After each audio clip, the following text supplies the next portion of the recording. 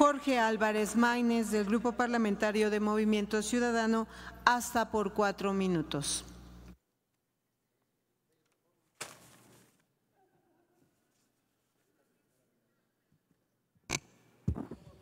Felicito a la senadora Gaitán. La verdad es que su participación fue muy equilibrada y sensata y a veces eso se extraña en esta Cámara.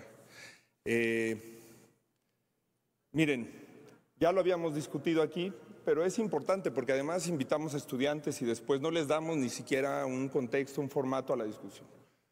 ¿Por qué está barato el dólar? Porque hay muchos dólares. Es la economía eh, que funciona de una manera más simple de lo que aquí se quiere construir. Y eso tiene connotaciones, como bien dijo la senadora, positivas y negativas. ¿Por qué entran dólares a México? ¿Por qué hay tantos dólares en México? Por cuatro razones. Una muy negativa es porque en México tenemos las tasas de interés muy altas. Esto se refleja en altas tasas para el crédito al consumo, en las tarjetas de crédito, el crédito hipotecario, poco acceso al crédito del sector productivo y eso hace que quienes pagan tasas de interés de 4% en Estados Unidos prefieran traerse los dólares a México, no es positivo para los mexicanos. Por las remesas. En 2016, el presidente decía, está tan mal la economía que muchas regiones del país solo viven del dinero que envían los migrantes a sus familiares. Las remesas están en sus niveles más altos. No le conviene tanto a la familia del migrante que eh, el, el dólar esté tan barato porque tiene menos pesos para gastar y no es un buen signo tampoco de la economía, como decía el propio presidente, que haya tantas remesas. Por el crimen organizado, sin duda alguna, este, es una fuente grandísima en este gobierno de ingreso de dólares. Y por supuesto, se dijo aquí, con razón, también lo reconoció la senadora, por la inversión extranjera directa.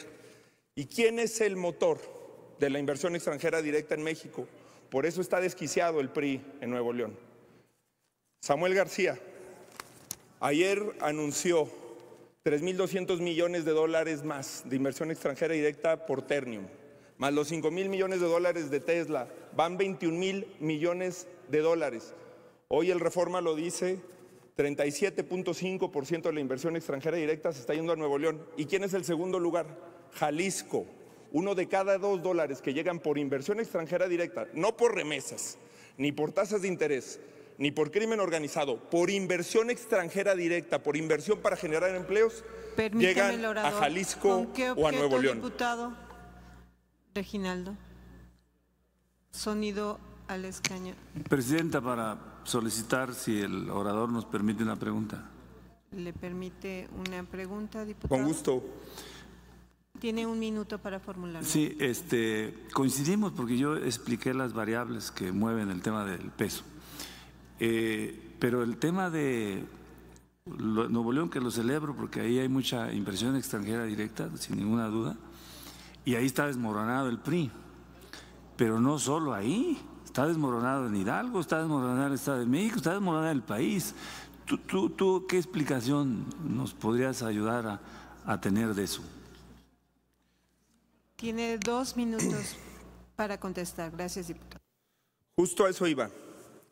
Sí, aquí no, no, no, les gusta a los compañeros que traigamos a un periódico serio como el Reforma, que nosotros le tengamos respeto a los medios de comunicación, a la libertad de expresión, pero justamente ayer el Reforma publica una encuesta. Ven al PRI perjudicial. ¿Cree que la, la imagen del PRI le suma o le resta votos a la alianza? Le resta 49% le suma 35%. ¿Cuál es su opinión de los siguientes partidos? Mala, muy mala del PRI, 48%. Pero espérense, porque uno dice, oye, me parece un poco cuchareada la encuesta, yo creo que lo detestan peor. Ve uno la metodología, la nota metodológica, es una encuesta telefónica realizada a personas que estarían dispuestos a votar por la alianza.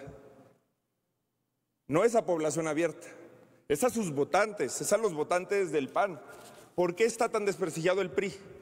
Porque Nuevo León está haciendo lo mismo que hizo contra Ricardo Anaya en el 2018 y que qué vergüenza que se les haya olvidado. Utilizar la fiscalía como un instrumento político. Hay 28 investigaciones contra funcionarios del gobierno de Nuevo León que han estado 725 horas en audiencia.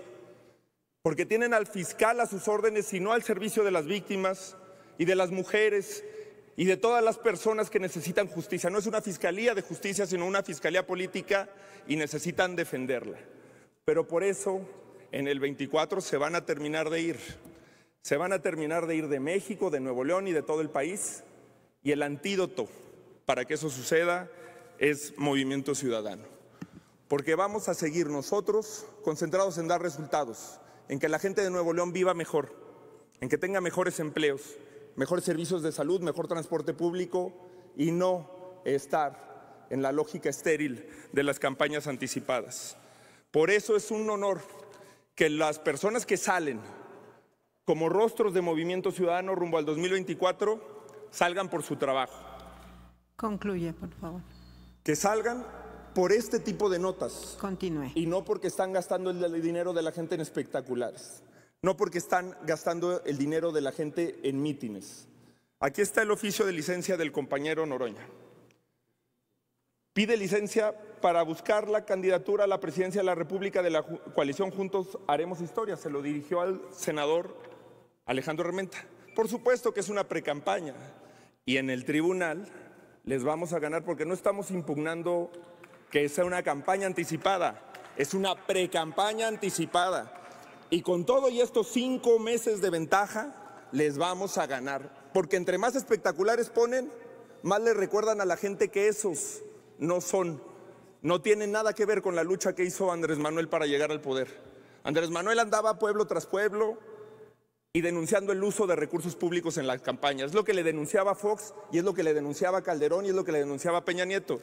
Y es lo que hacen quienes hoy traicionan la esencia, el cambio que prometieron darle al país. Por eso van a perder, porque la gente los está conociendo y entre más los conoce, menos los va a votar. Gracias, Presidenta. Gracias, diputado. A continuación tiene el uso.